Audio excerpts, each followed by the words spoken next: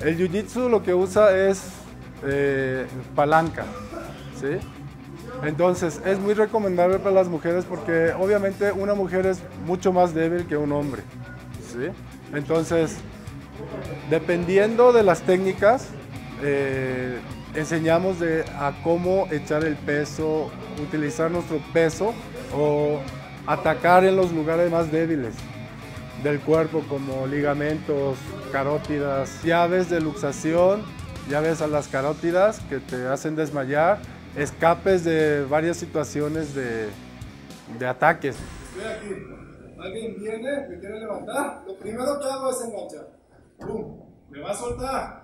Y voy a, a apoyarme en el piso y tener más. ¿Por qué hago esto? Porque ahora que él me quiere levantar, ya peso el triple aquí. ¿Sí? Ahora, si sus piernas están lejos, no me va a poder levantar. ¿Qué tiene que hacer él para levantarme? Exactamente. Y ya cuando vea la pierna cerca, voy a atrapar esa pierna y me voy a sentar. ¿Sí vieron? Ahora, pueden pasar dos cosas. Uno, agarro, me caigo y levanto la cadera atacando eh, su rodilla, ¿no? Aquí se levanta y otra, si no me quiero arriesgar mucho, empujo, paro,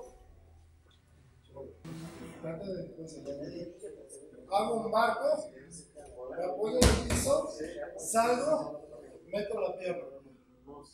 Me apoyo en esta pierna en mis brazos, salgo, me apoyo. Ahora, si él me quiere volver a agarrar, no importa. Yo puedo agarrar su, su, mano o lo que sea, y aquí le puedo dar un golpe en la cabeza aquí. ¿Qué va a pasar? Si le llevo a dar, se va a desmayar. Y supongamos que mi patada no fue tan fuerte.